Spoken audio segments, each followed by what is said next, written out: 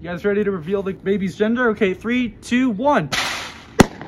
It's a boy! Is it better to reveal a gender or cause a statewide panic?